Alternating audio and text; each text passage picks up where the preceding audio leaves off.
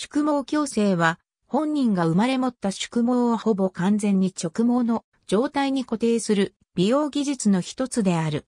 美容師は近代のパーマネントウェーブが確立されて以降、顧客の宿毛の悩みに対しにはゆるストレートパーマ技術で対応してきたが、一般のパーマネントウェーブの考え方の流用である。この技術では、パーマ落としを行うことはできたものの、生まれ持った宿毛には、軽度の場合に多少の効果が認められる程度で、これを直毛のように作り変えることは難しかった。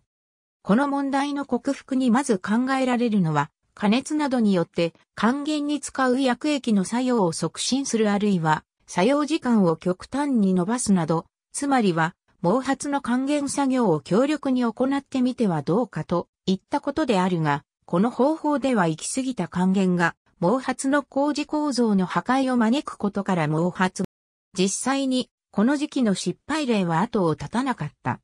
このことから、薬剤メーカー側、サロン側を問わず、毛髪に対する補修剤の補給や配合や加熱方法の工夫など様々な試行錯誤が行われたわけであるが、根本がパーマネントウェーブ技術で用いられる還元、酸化の考え方だけでは、せいぜいが宿毛による膨らみを軽減するのが関の山で、顧客側もそれをよく分かった上でオーダーするという風潮が続いた。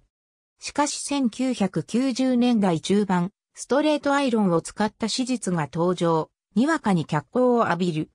この手法ではアイロンによる加熱は還元するときではなく、酸化直前に乾燥状態にて行われ、これによって起こる熱変性を利用して、酸化による形状の固定と毛髪内の水素結合の関連付けをさせようというものである。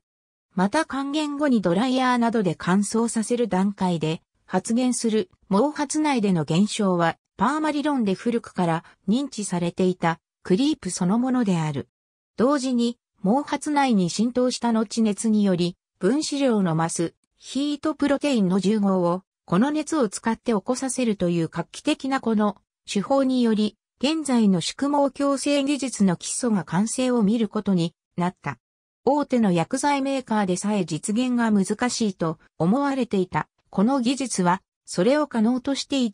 その後大手の参入も手伝って簡略化と合理化が飛躍的に進み、多くのサロンに普及するに従って、普及前とは比べ物にならないほどの短時間化と定量。この一因には、現在は当たり前と捉えられているクリープ現象を合理的にコントロールすれば、それほど手間のかかることではないという認識が浸透したことが挙げられる。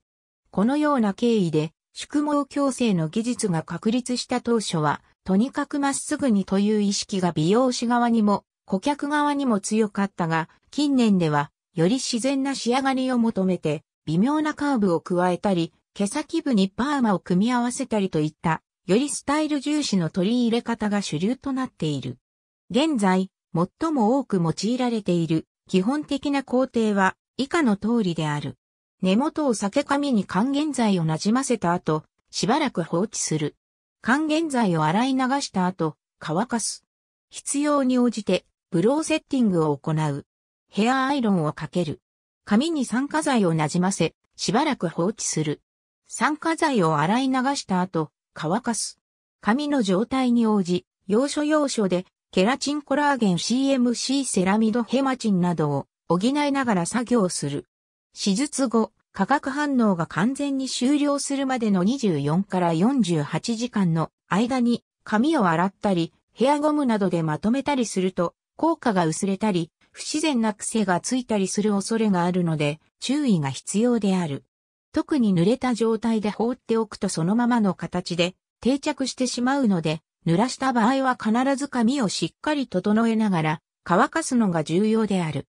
手術後のケアと美容師の技術が確かならば、手術から数日経ってからは、宿毛矯正を施した部分は、半永久的に効果が持続する。ただし髪にダメージを与える要素が少なくないので、信頼できる美容師を探す必要がある。また、化学反応が終了したかどうかは、髪に残った溶臭の有無で判断できる。ハリウッド女優のジェニファー・アニストンは、本来の縮り毛を矯正するために常にストレートパーマをかけていたが、髪の痛みのひどさに悩んでいた。しかし、知人からの紹介で、宿毛矯正の技術を知って、以来、宿毛矯正なしの生活は考えられないと手放しで絶賛している。また、宿毛矯正は繁栄級的直毛を謳って始まったものではあるが、近年の低価格化や技術低下に伴って定義崩れが起きており、偽表示に近い店舗が存在している。ありがとうございます。